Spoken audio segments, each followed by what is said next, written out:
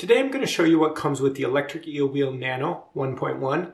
Then I'll give you a quick overview of the controls and we'll finish off with the tutorial on how to spin. So this is the box that the electric eel wheel Nano 1.1 comes in. Inside you will find, this is a card that you can share with your friends. Here's a card that goes to the instructions um, on how to use it. You probably found this video on that site. And then it's got a nice plastic card, which is a spin card. And we'll actually talk about how to use this a little bit later in the video. Also in the box, there's a USB cable. This will plug into any USB type A port. So you can plug this into a phone charger or it can also plug into battery bank. So if you want to make it ultra portable, you can do that. And I have lots of uh, videos and web pages that sort of explain what you need to look for in a battery pack if you want to power your electric eel wheel nano from a battery pack. Comes with a power plug and this is um, a North American type plug, but it does support different voltages. So anywhere in the world, you can uh, get a converter plug for this and then it'll fit into different types of outlets around the world and you don't have to worry about voltage because this will handle the different voltages. You also will get uh, five bobbins that aren't assembled in a pack or in two packages like this. And lastly, there's the actual electric eel wheel nano, which looks like this. So to use it, all you have to do is plug your USB port in, or I'm just using the wall power here, and you plug it in, and now you can turn it on, and it goes. This power switch has three positions. The forward position has a Z. This means it is Z twist. The middle position is off, and the back position is S twist. Z and S twist modes spin the flyer in opposite directions. This is important when plying multiple singles together into multi-ply yarn, and we'll cover that later in this video when we explain how to spin yarn. For now, I'll just say that Z and S positions make the flyer spin in opposite directions. This is the speed control. It controls how fast the flyer spins. If you turn it counterclockwise, it goes slower like this. If you turn it clockwise, it goes faster like this. This black elastic string is called the tension band. It runs through these little slots like this. The tighter you pull it, the more uptake your yarn will have. Uptake is the amount of pull your yarn has on your hands when spinning. We suggest you start with a light tension and uptake. On the front of the flyer is this piece which is called the orifice reducer. The purpose of this is to reduce the size of the orifice hole on the front of the nano. While using this piece is optional, some people like using it when spinning because it reduces the wobble of the yarn. That said, if you don't want to use the orifice reducer, you can easily remove it. These sliding yarn hooks guide the yarn before it goes onto the bobbin. Most of the time you will only use two of these at a time and the setup will look like this. When the bobbin starts to get a bump of yarn on it, stop the flyer and then slide the hook like this. Next, I'll show you how you can change bobbins. You just put the tension band behind the back of the case and the drive belt in front of the front of the case. Then you lift off the flyer, remove the rear bearing, and then change bobbins. If you need to change your drive belt, you can also do this right now. After that, you just reverse the procedure and you have an empty bobbin that is ready to spin. One thing to double check is that the drive belt is on the motor pulley and the flyer pulley, like this.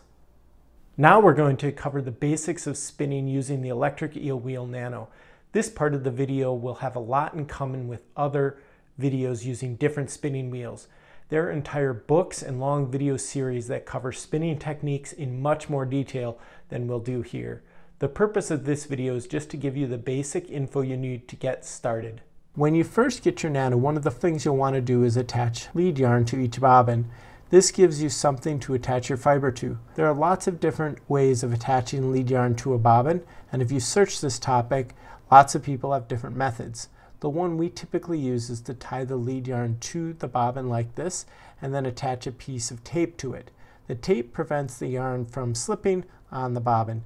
If the yarn does slip on the bobbin, then the yarn won't spin correctly. So make sure you either use a knot that doesn't slip or put a piece of tape on it like this to prevent slipping.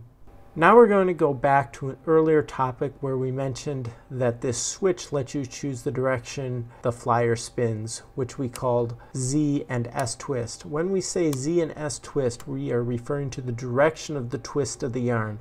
The Nano comes with this spin card that helps you determine the direction of the twist in your yarn.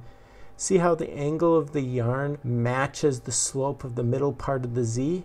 And with this, the yarn matches the middle part of the S. That is how you determine if you have Z or S twist in your yarn.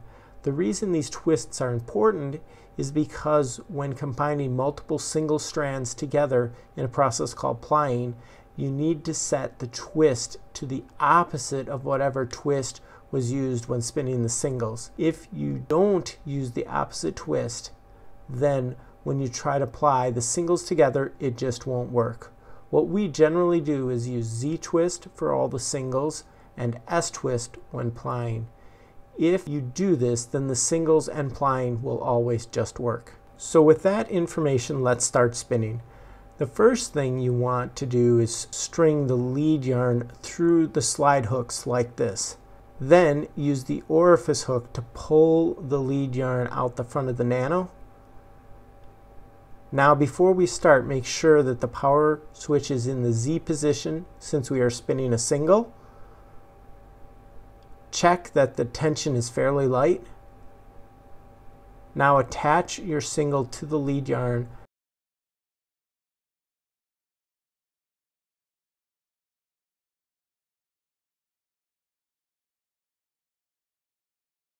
turn the speed control to a slow speed to start spinning. You'll want to keep the speed low while learning to spin.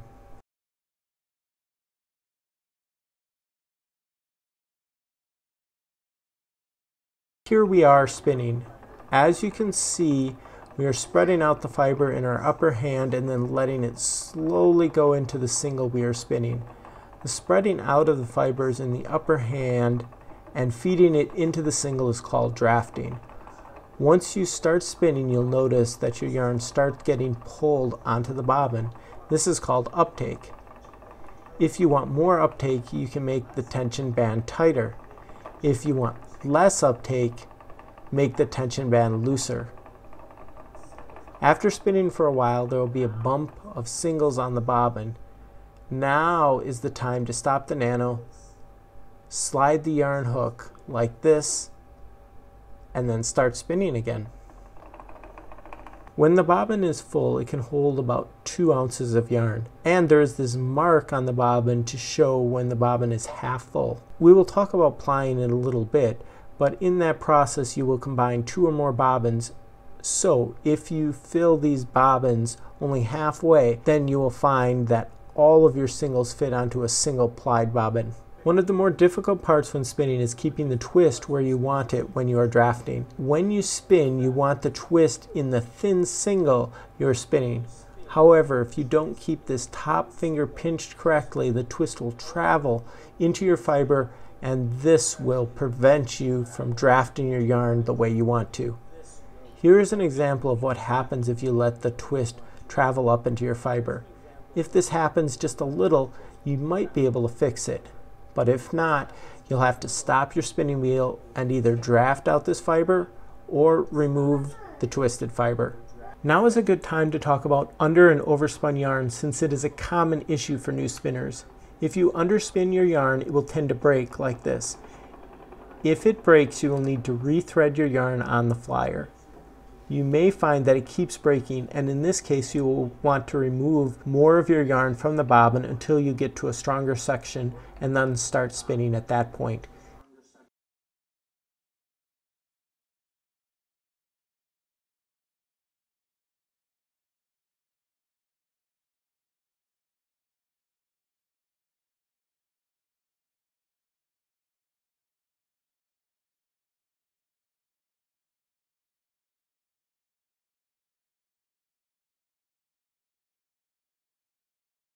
If you overspin your yarn, you will get clumps where it twists in on itself like this.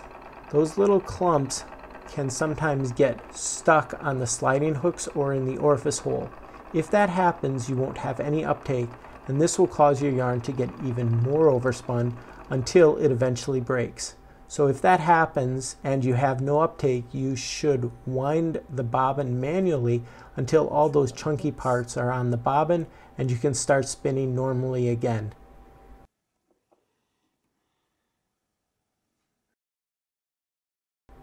Here is an example of properly spun yarn.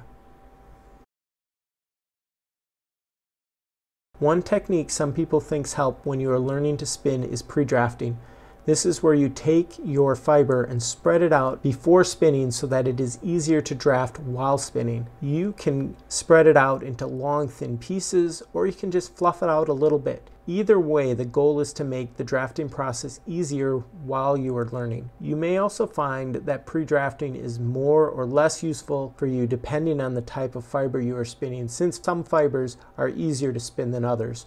With some practice, you shouldn't need to do much pre-drafting, but while learning to spin, it might be useful. When you eventually get a few bobbins full of single threads, it is time to combine or ply those threads into yarn. While plying, as we said earlier, you want to set the nano to spin in the opposite direction as the singles. So in this case, we're going to set the switch to S twist. After that, you start spinning. Plying is actually a little easier because you don't have to worry about your yarn breaking as much as you do when you're making singles. So there you have it. Those are the basic things you need to start spinning. There are many more advanced topics not covered here, like different types of plying, how to spin thicker or thinner yarn, or ways to make your yarn more consistent, to name a few. Those are topics covered by many other videos out there, so once you start to get the basics down, there's plenty more to learn. Happy spinning!